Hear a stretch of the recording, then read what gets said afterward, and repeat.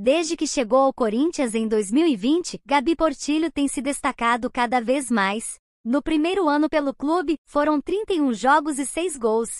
Mas foi em 2022 que ela brilhou ainda mais, marcando 9 gols em 30 partidas. E nesta temporada de 2023, ela já acumula 20 jogos, sendo titular em 17 deles, e balançou as redes quatro vezes. Sem dúvidas, uma trajetória impressionante.